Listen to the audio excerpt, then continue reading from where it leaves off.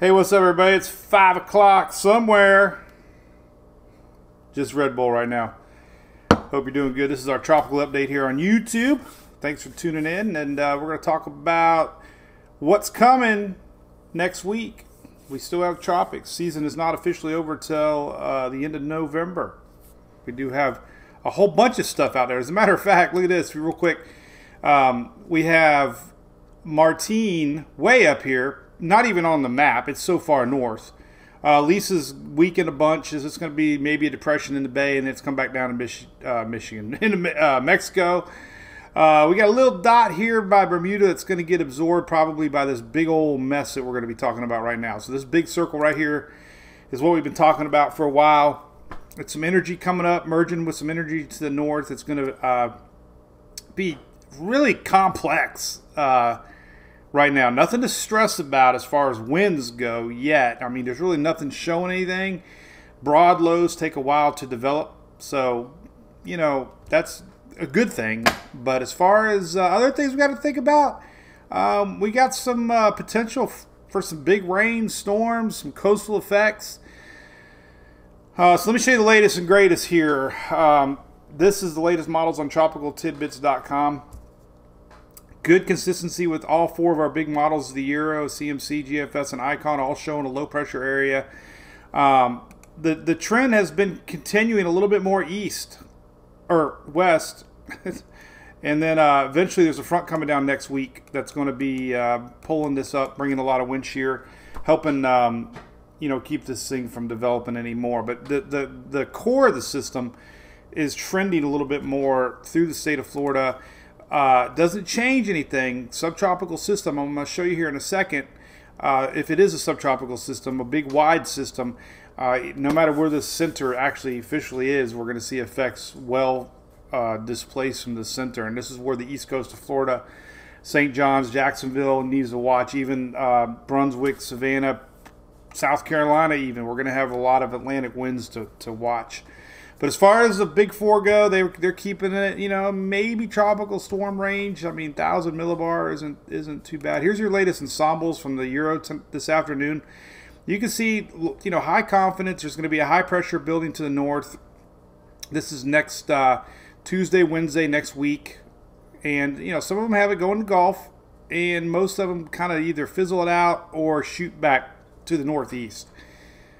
Um, not seeing any concern for anybody to worry about in the Gulf yet, so don't worry about seeing these little lines. This is these are just your center points on where the low is going to be. And if you notice, green is thousand millibar plus, only one or two blue, meaning uh, stronger than that. So so far, models are keeping it kind of weak. Um, however, looking at Bay News 9 here, water temperatures are still 82, 83 degrees. You know, 80 degrees is that magic number. Uh, tropical systems like 80 degrees plus, and there is still quite a bit of ocean heat content here around the Caribbean, uh, around the Bahamas. So this thing, you know, it's going to have a little bit of warm water to work with. Uh, that's why November is still time to watch tropics. Uh, let's look at tropicaltidbits.com here. Can kind of show you what a broad system looks like. So so here's our setup. This is Monday. We're starting to see our low pressure here, very broad. But watch all this right here. This is the slingshot we keep kind of talking about. Uh, moisture just kind of shoving itself around the top side. And here's your latest GFS. Just continual flow of moisture here. Now this is, you know, this is uh, Monday into Tuesday into Wednesday. So we can have two or three days of this constant – uh, wide-reaching uh, storms and rains, you know, impacting the East Coast, uh, North Carolina down into Florida, uh, no matter where this low pressure sets up. So that's something to watch. Um, that's the latest GFS, latest European, almost the exact same setup here, low pressure. All this juice here gets rotated around, almost like a subtropical system, uh, and it you know brings in a lot of heavy moisture into the Carolinas, Georgia, down into Florida.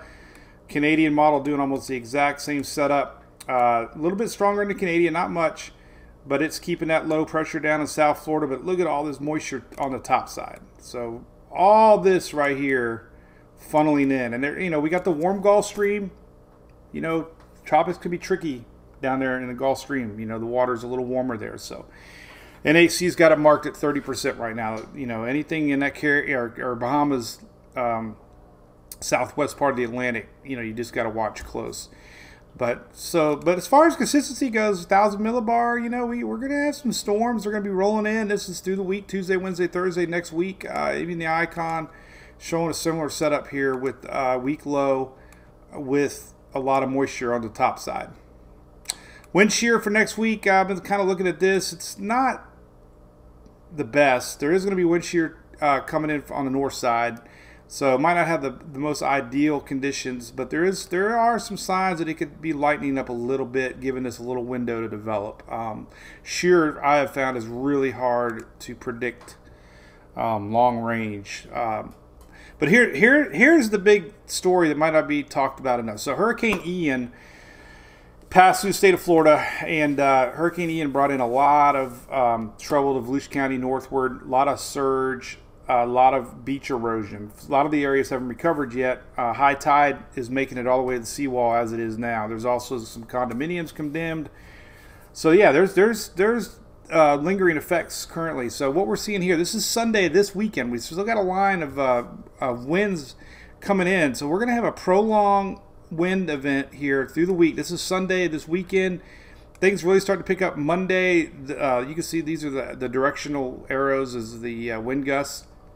But you can just see this constant battering. And uh, Tuesday night here, this is Monday night actually. Monday night, we're starting to see uh, upwards of uh, 35 plus, you know, gust. Uh, uh, we're seeing sustained winds possibly here 25, 35. That's close to tropical storm force winds, but that persistent winds is what uh, you don't want to see along the east coast of Florida. And as we get into Tuesday, you know, we're starting to see more again so there's a lot, lot of questions as far as um, how this setup's going to play out. Just uh, you know, that's something to watch. We're going to have to see this thing gets a little stronger. We're going to have more winds coming in. Here's the GFS, you know, showing some pretty strong winds northern part of Florida. So St. John's is definitely watching St. John's River. They they're you know still dealing with a lot of flooding up that way. So any water that pushes in around Jacksonville could have some trouble for the St. John's. We are going to also be in a new moon on Tuesday night into Wednesday. That's the full moon, and that usually that ups the tide values uh, a lot. So you add that with this, we could have a little bit of beach erosion problem here on the East Coast uh, to areas that are already dealing with seawall failures. So we'll keep an eye on it. Like I said, nothing showing up too strong to stress about. Rains for sure, you know, Tuesday, Wednesday, Thursday, squall lines, everything normal. You know, it's hot out there. We've had record heat here in Florida, thunderstorms today.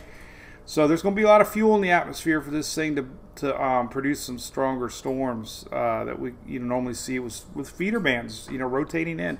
And like I said, that Gulf Stream is warm, and we could see some surprise storms all the way down in South Florida um, as this thing makes its way up. So there you go.